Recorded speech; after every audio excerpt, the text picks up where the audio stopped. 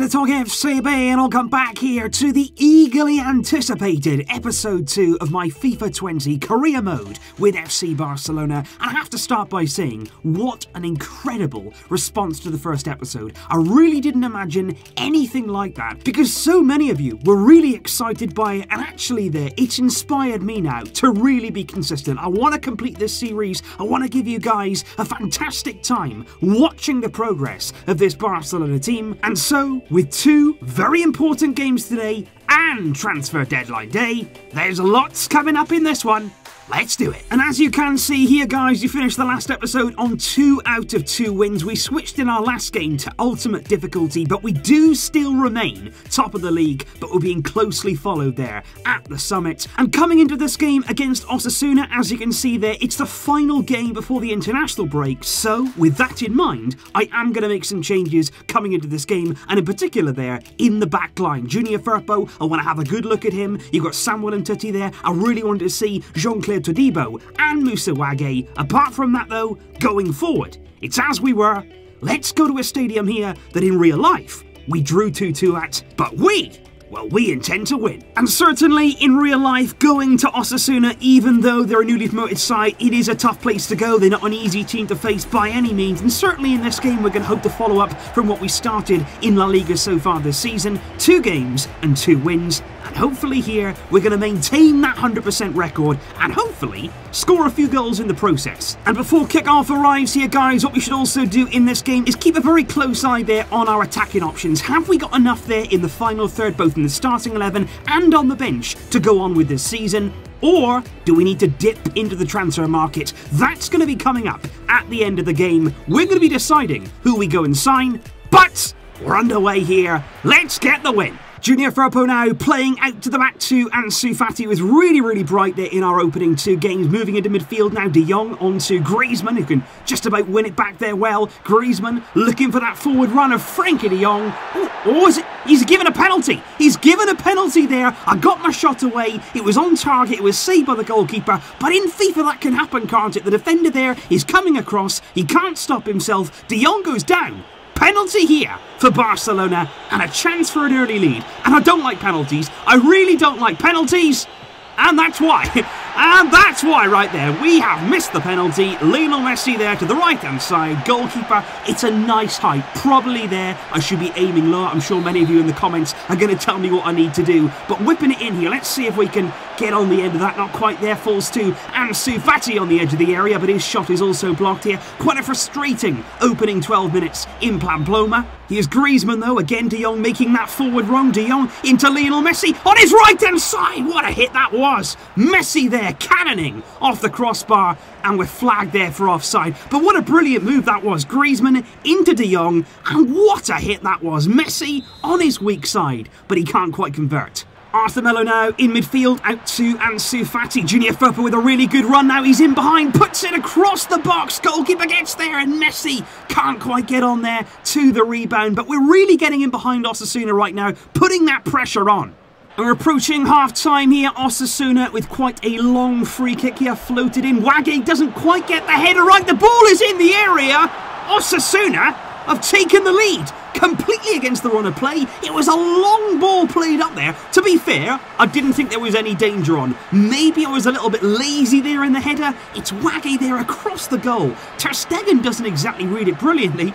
And somehow, Osasuna there, through Brandon Thomas, have the lead. We've got to hit back. This is not good. Can we do that here through Ansu Fati? He's breaking ankles out there. Fati into the area, trying to cut it back. It's on to Lionel Messi. Can't quite find a way through, and I've kicked out there in frustration. But we have reached the half-time whistle. It's 1-0 to Osasuna. But, most important thing here, don't panic. What I am going to do though, is make a slight change in our formation and give us there a bit more of an attacking outlet. I'm going to bring on Hiroki Abe. I know that on FIFA, he's got really good pace, good speed there to get in behind Osasuna, and hopefully now, in that second half, we can see some of that. Wague now into Lionel Messi, just pops one off there to Antoine Griezmann. Brilliant first touch there, takes him away from the defender. He's into the area. It's Antoine Griezmann. It's 1 1. Barcelona there equalising, and it was all about that first touch. Brilliant touch there from Griezmann, takes it away from the defender. We've got ourselves level. Let's not get too overboard there about that goal. It's time now to get the winner. It's 1 all, Barca 1, Osasuna 1. Come on, let's go for another.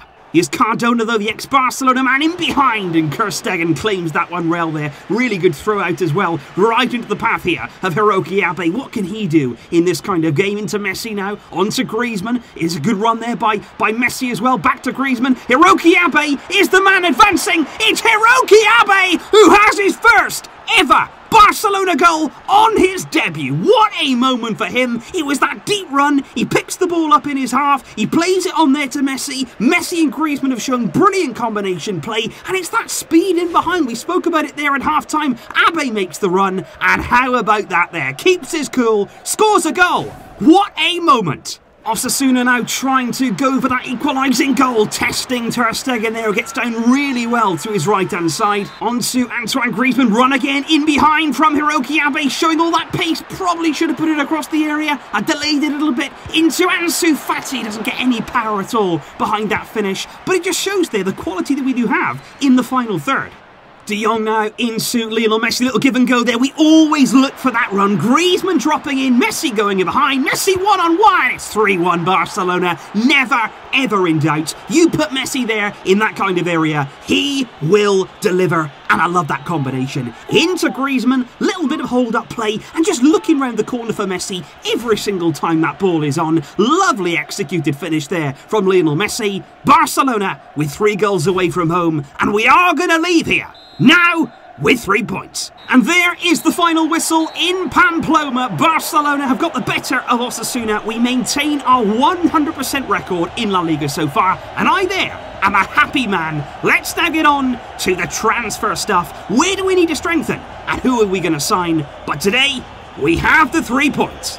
But before that, of course, I do have my media duties to get underway. Let's see what sort of questions I'm asked today, considering you're obviously the favoured team. Do you think Osasuna was intimidated by Barcelona? I get asked this question a lot here. I'm going to say, yeah. You know what? Again, Osasuna should be intimidated. We're Barcelona we're coming to town and we want to win. A comfortable win. Do you think the game could have gone another way today? I would go there. We could have scored more. Because, yeah, we scored three goals today, but we did miss a lot of chances as well. I've got to get better in my conversion rate. And again, they're asking me about Osasuna's players. You know, we just played our game. We're not really worried about who we're coming up against here. We're playing our game, we know our strengths, and we won the game today. That's all that matters. But now, if we do move on to deadline day, yep, I have left it very, very late to make transfers, but I am going to do something before we even start. And it's not actually signing somebody as such, but we are going to be recalling somebody from loan. And actually, yesterday's video on the channel did make me think of this. It's Pedri, the player that we spoke about there, the young man from Las Palmas. I'm going to recall him here because I want to give the guy minutes. You can see there, he's got an overall of 73. You feel like he'll rank up pretty quickly. He has talent, and I will give him opportunities this season season. But of course, the big question coming into today's video was where exactly were we going to spend that massive transfer budget? 368 million euros. You guys believe, I put a poll out there, I wanted you to decide where that money went. I didn't want to overdo it, I didn't want to go out and sign loads and loads of players. It had to be one forward purchase, and you have gone with Lautaro Martinez so, let's see if we can get him. Alright, so we are going to go here. Inter Milan, the 22-year-old Argentine forward, Lautaro Martinez, has been in brilliant form in real life this season. Barcelona are actively scouting him. We may well approach them for the signing come the summer transfer window. And let's see now if we can get him from Inter. A few people are in the comments saying I won't be able to get him in my first season, but I've got a lot of cash here. But I'm going to start 50 million euros. I'm not really sure how that's going to go down, if they're going to laugh me out of there, but I'm going to start here at 50 million euros. Let's see here what Inter respond with. Oh, they've, they've not even, they've not put me up much at all. I'm really surprised there. 59 million. Mate, I've got loads of money. You could have asked for way more than that and I would have paid it. But 59.4 million, Lautaro Martinez will be ours if we're going to bring personal terms. And like I say that, I was expecting 100 million. In real life, we've been quoted around 112 million euros. So that there is a very, very good deal for Lautaro Martinez. But we've got to sort out the wages. That could be an issue as well, so let's get over that hurdle before we start celebrating. Nice to see you, Lautaro. Looking good, my friend. You look even better in a Barcelona shirt. Let's get on now to your role in the team. You're obviously going to have a crucial role. You're going to play a lot of minutes. You're going to be a player that I need to depend on, and I'm certainly there. I'm sure he's going to be happy with that role. Yep, he's absolutely fine there, playing a crucial role. Hopefully the pressure he'll be able to handle at Barcelona. Now we've got to move on to the length of his contract. I'm going to go here with five years, a five-year deal. He's 22 years old. That would take him there till he's 27. That's absolutely fine. Yep, he's fine with that too. And now they want a 100 million euro release clause. Well, no, you're not having it. I don't. No, we're going to deny you the release clause. I don't like them. Obviously, in Spain, technically you can't deny them anyway. But on FIFA, we have moved on there without a release clause but now I've got to offer some wages. They don't give me any indication here on what they will want, so I'm actually going to go 100k a week? Do you think 100k a week? That's not actually bad in the grand scheme of things for a brand new big marquee signing. I'm going to go 100k a week and 500,000 there in the signing on bonus. And that's not quite good enough, but to be fair, they haven't really pushed me up much more. And like I say, we are swimming in cash. Lautaro Martinez is a Barcelona player. And as you can see, guys, we still have over 300 million in our transfer budget. So at the same time, there is still opportunity in January, maybe next summer. I don't know how far this series is going to go, but we will have more chances to bring in players because I don't want to do too much at once. I want to keep this series very realistic. I think bringing in Lautaro is a good sign in there for a good transfer fee. Recalling Pedri is something that I wanted to do because the emphasis still is on those young players. I want to develop the players that we have. I want to promote from within everything right now that the real Barcelona are not doing enough. That's what we're going to see in this series. And overall this summer, I'm pretty happy. And so, as we enter here our fourth game of the La Liga season, Barcelona remain at the top, but Real Sevilla in very close pursuit, and Atletico Madrid there are at the very top of the table also on nine points too. So certainly competition at the top of La Liga, and let's see now what sort of questions I'm going to be faced with in the pre-match press conference for Valencia. After Lautaro's acquisition from Inter, the fans are eagerly awaiting him. Are we going to see him tomorrow? What I'm going to say to that is he's going to prove to you you tomorrow that he's the right man. He's going to prove to you not just tomorrow, but well beyond that. He will get minutes tomorrow. I can confirm that, guys. You've had a good run so far, putting you in a great position The challenge for the league. Do you think you have the depth to keep up the pace? Yeah, we have the depth. We have the squad. We have the players. If you don't mind me saying, we have the manager too. I'm the special one. no, I'm just kidding, guys. But anyway, on to here Valencia's morale. I've gone with a pretty brutal response. If they're not scared, they should be. Because Barcelona We're coming. But coming into Valencia at the Camp Nou, the big team uses Lautaro Martinez will start from the bench. I wanted to start Griezmann in this game, work Lautaro in nice and slowly, and we have gone back there to Alba, Lenglet, and Titi, and Semedo in the defence, with the attack looking much like usual. And I think this right here on ultimate difficulty, Valencia are a good team, of course, Champions League team this season, and it's not going to be easy, but at the Camp Nou, we will expect a result, and certainly I'm going to be hoping to provide it with some nice play along the way. Here we go then for Barcelona against Valencia. Lautaro Martinez, I can assure you, at some stage in this game, will make his debut. But from the start, Antoine Griezmann leads the line, and he's been in fantastic form so far this season. Let's do this. Dani Parejo now going forward in midfield for Valencia after coming across the really good challenge there. Ansu quickly moving it on to Lionel Messi. Now Valencia backing off Messi. Oh, Messi! Oh, lovely little bit of skill. Messi here shoots on goal. Shoots again. Oh, it's just wide. Ah, I wanted to have a go from distance there because that was absolutely wonderful footwork from Lionel Messi before he tried the volley there on his right foot. What an effort there from Messi, and what a goal that would have been. Nice little bit of tackers. Valencia here, though, with a long range free kick just wide there from Kevin Gameiro. Pretty ambitious from that sort of range, but that just goes wide there of Ter Stegen's goal. We're going to build out the back here with Nelson Semedo on the right hand side into Samuel Umtiti working it through midfield now onto Messi. Griezmann here, De Jong making one of those runs from midfield. Messi's right next to him. I thought he was going to touch the ball. De Jong scores. That was a close one there. Two players together. You think on FIFA, you don't know how that's going to go sometimes. But De Jong this season has been so good in that kind of area. He's in the holding midfield role alongside Arthur, but he does make those forward runs. And when you've got Griezmann, when you've got Messi, the defence is so focused on marking them that De Jong can just drift into those areas. And when he's been in them, as you can see there, Third goal of the season. Into midfield now with De Jong ah, after. Oh, what a ball that is there. Lovely little chip pass into Ansu Fati who's trying to get away from Valencia. Dembele coming in, but he didn't get the right contact there. I was actually trying to volley that, so that didn't exactly go brilliantly, but certainly there, the pace of Ansu, he gets us out of trouble and gets us on the attack. And that there is the half-time whistle. Barcelona lead Valencia thanks to Frenkie de Jong's goal, and so far, so good at the Camp Nou. Messi now dropping into that deeper role onto Arthur Melo, looking now for the run of Ansu Fati. Back to Arthur Messi. is arriving on the scene. Lionel Messi! Pushed wide there by our old man Jasper Cillessen. Looks absolutely nothing like him, but a great strike there from Lionel Messi. Arthur now going to take the corner kick. I'm going to take it short. I do like to take short corners. Whipped in there by Messi. Cillessen just about gets a hand to it. Now falls to Samuel Umtiti. On to Semedo here. It's Arthur who's going to be coming in. Arthur Melo! Oh, I thought that was in. I thought there, the angle of the shot Brilliant little finesse, and I thought that was going in the top corner. That would have been a wonderful goal there from Arthur Melo, but it's just wide of the target. And here is the moment that Lautaro Martinez makes his Barcelona bow at the Camp Nou. Griezmann comes off. Lautaro is a star born here. And straight from the off, to be fair, guys, I'm going to be trying to get Lautaro a debut day goal. Obviously, I try and get everybody to score, but come on, let's get a goal here for Lautaro into Ansu Fati, onto the man himself. Nice first touch there into Messi. Lautaro makes the run in behind. That's a great save there from Jasper Cillessen to deny him a wonderful moment.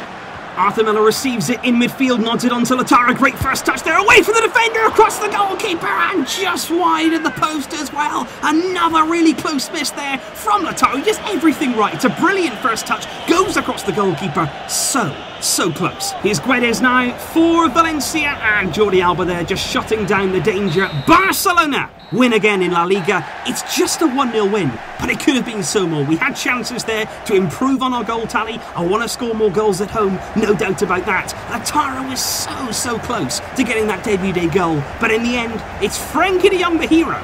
Four games, four wins for Barcelona. And if we start here with the post-match press conference, what have they got for me today? Let's have a little look here at the first question. It was somewhat of a disappointing performance from Martinez he failed to make an impression. Uh, excuse me, why isn't there an option here to walk out? Keep it realistic, mate. He came on, he had an impact, he nearly scored. Give the guy a chance. Get off my back. Don't make me argue here with these journalists. Alba, though they say, is continuing his hot run of form, but if he doesn't perform for one single second, I'm sure you'll be on his back. But look, we need to keep with this good momentum and we certainly need to keep on the right track in terms of this form. You're able to secure the victory today before half time. Were you pleased with how things went in the second half?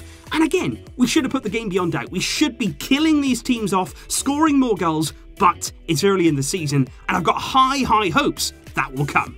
And so, guys, that does bring us to an end in today's episode. I leave you here with the La Liga table Atletico Madrid, Real, Sevilla, and Barcelona. They've all got 100% records. It's really tight at the top. We can't afford any mistakes. This is a serious title race that we find ourselves in. And before you do leave, I do have to tell you that in the next episode, which isn't all that far away, you'll be hearing the incredible sounds of the Champions League.